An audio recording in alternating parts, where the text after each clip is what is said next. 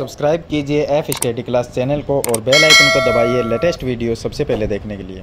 Hello friends, चलिए आज इस वीडियो में हम सीखेंगे कि इस तरह की आकृति का क्षेत्रफल है वो कैसे ज्ञात किया जाता है, यानी कह सकते हैं कि एक प्लेन का क्षेत्रफल हमें ज्ञात करना है। तो ये जो क्वेश्चन है, वो कक्षा नौ गणित की प्रश्नावली दो सॉरी 12.2 का प्रश्न नंबर थ्री है, जिसमें हमने पीछे भी हिरोन के फॉर्मूले से त्रिभुज का क्षेत्रफल ज्ञात करना मैंने आपको बताया था।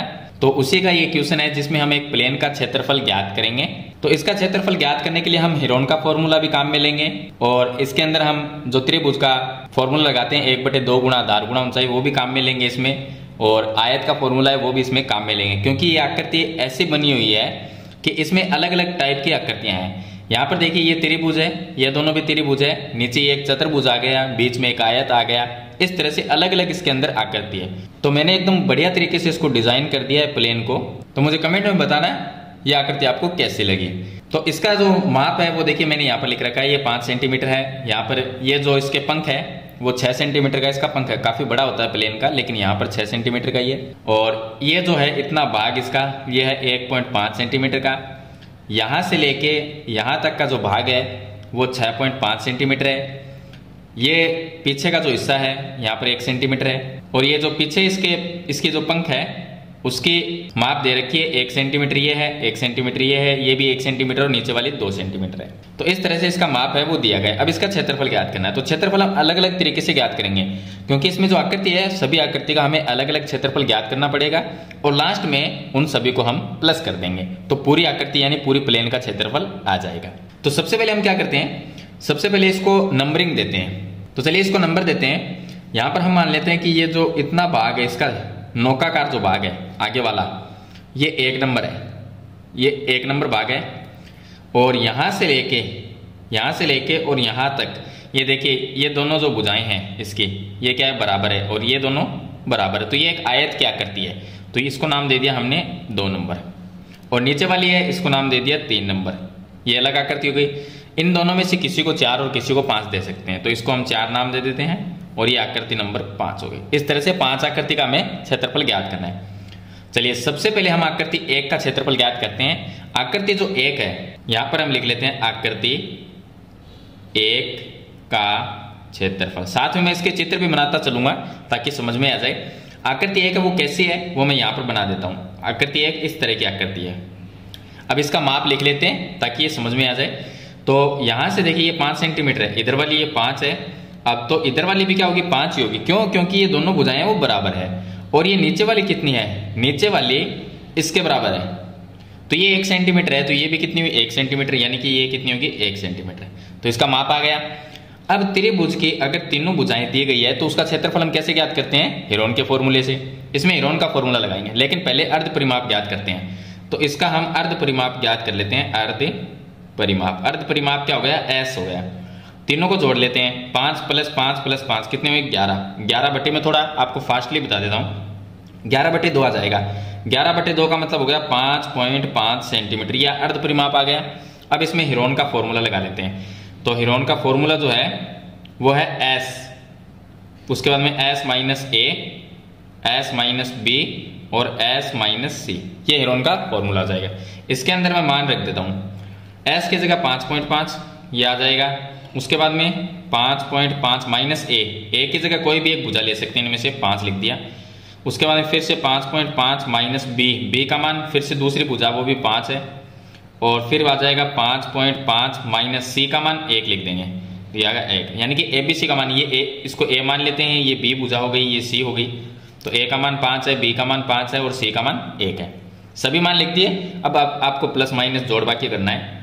तो चलिए इसको जोड़ बाकी कर लेते हैं। तो यहाँ पर मैं बता देता हूँ आगे आपको। इसका जोड़ वाक्य करेंगे तो क्या आएगा? पहला है पाँच पॉइंट पाँच, ये आ गया। पाँच पॉइंट पाँच, उसके बाद में गुणा में। पाँच पॉइंट पाँच माइनस में पाँच करेंगे तो कितना रहेगा? ज़ीरो पॉइंट पाँच। आगे भी इसके ज़ीरो पॉइंट पाँच ही आएगा और फिर गुणा में आएगा इसके चार पॉइंट पाँच। सभी को हम गुणा कर लेते हैं।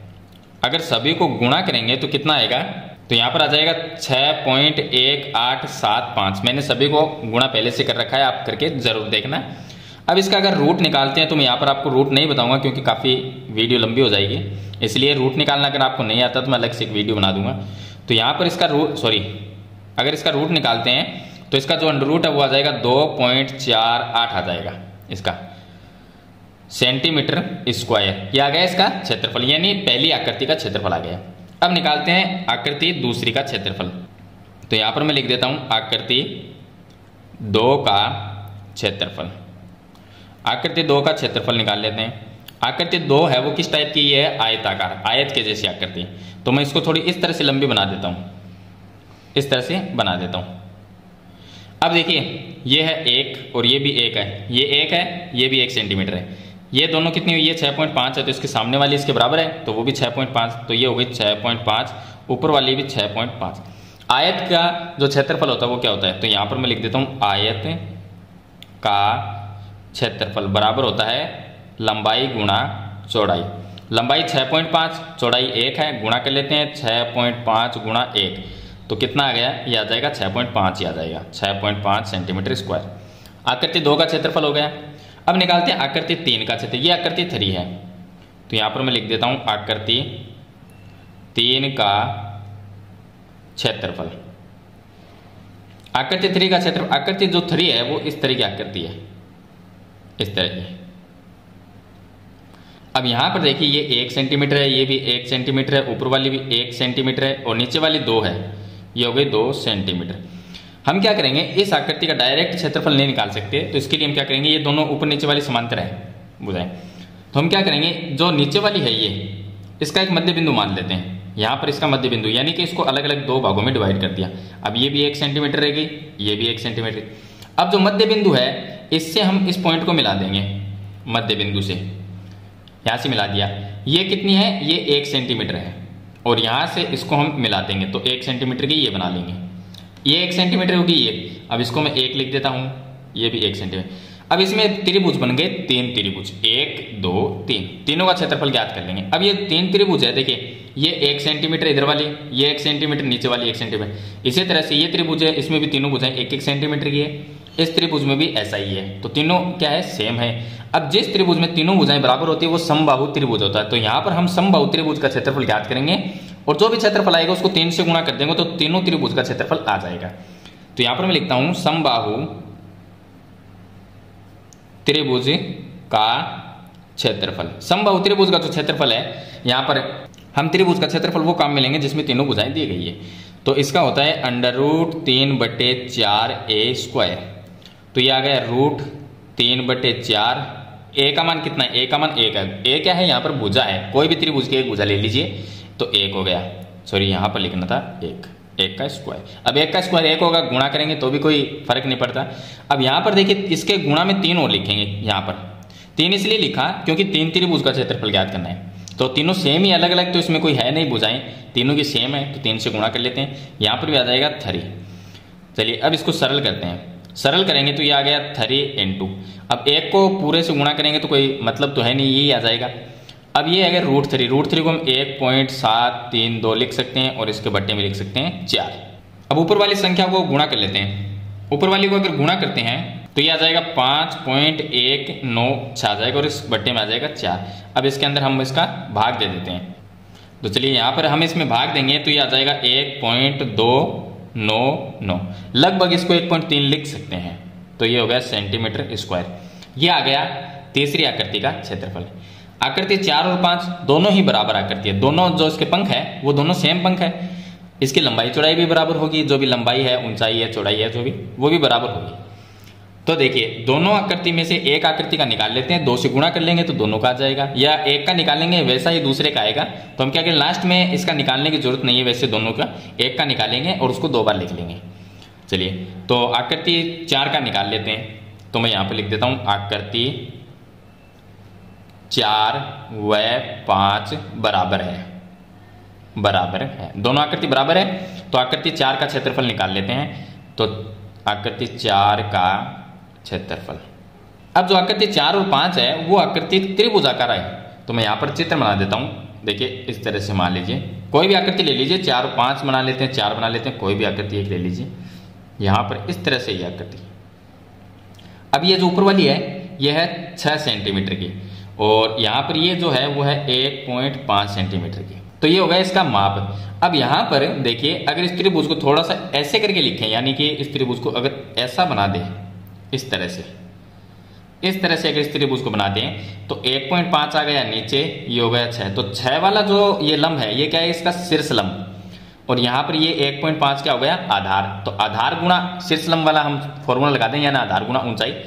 तो इसमें एक बटे दो गुणा आधार कितना है? एक पॉइंट पाँच गुणा शीर्ष लंब कितना है? छह। अब दो का इसमें भाग देंगे तो आ जाएगा थ्री। तीन को पंद्रह से गुणा किया, पैंतालीस यानी कि चार पॉइंट पाँच। तो ये आ गया चार पॉइंट पाँच सेंटीमीटर स्क्वायर। आकृति पाँच का भी चार पॉइंट पाँच ही आएगा। तो हम लिख देते हैं आकृति पाँच का क्षेत्रफल। चार पॉइंट पाँच सेंटीमीटर स्क्वायर। ये भी इतना ही आएगा। अब हमने जो पाँच आकृति इसमें दी गई है प्लेन जो है, इसमें पाँच आकृति है, सभी का क्षेत्रफल हमने निकाल लिया। अब सभी का जोड़ लेते हैं तो पूरे प्लेन का क्षेत्रफल आ जाएगा। तो यहाँ पर निकाल लेते हैं कुल क्षेत्रफल। कुल क्षेत्रफल, पहली आकृति का कितना है? पहली आकृति का क्षेत्रफल है, वो ये है दो पॉइंट अड़तालीस। दो पॉइंट चार आठ, ये है। प्लस दूसरी आकृति का जो क्षेत्रफल है, वो हमारे पास में आया था छः पॉइंट पाँच। ये लिख देते हैं छः पॉइंट पाँच। प्लस, तीसरी आकृति का जो क्षेत्रफल आया था, वो आया था एक पॉइंट दो सौ निन्यानवे। तो एक पॉइंट तीन लिख सकते हैं इसको। प्लस, उसके बाद में चौथी आकृति का चार पॉइंट पाँच और पांचवी आकृति का भी चार पॉइंट पाँच। ये आ गया सभी का क्षेत्रफल। अब इन सभी को हम प्लस कर देते हैं। तो अगर इनको सभी को प्लस करते हैं तो इनका जो क्षेत्रफल आएगा, वो आएगा उन्नीस पॉइंट दो आठ सेंटीमीटर स्क्वायर। ये उन्नीस पॉइंट अट्ठाईस है, इसको तीस लिख सकते हैं, यानी उन्नीस पॉइंट तीन लिख सकते हैं इसको। तो हम लिखेंगे उन्नीस पॉइंट तीन सेंटीमीटर स्क्वायर। ये आ जाएगा इस प्लेन का क्षेत्रफल। तो इस तरह से ये जो प्लेन है, इसका हमें क्षेत्रफल ज्ञात करना है। प्लेन काफ़ी बढ़िया है क्वेश्चन काफ़ी इंटरेस्टिंग है, और क्षेत्रफल है वो हमें अलग अलग आकृति का निकालना पड़ेगा। तो आई होप ये क्वेश्चन आपको अच्छी तरह से समझ में आ गया होगा। फिर भी आपका कोई भी सवाल है तो मुझे कमेंट बॉक्स में ज़रूर लिखें। आज की वीडियो में इतना ही। मिलते हैं एक नई वीडियो के साथ। तब तक के लिए थैंक यू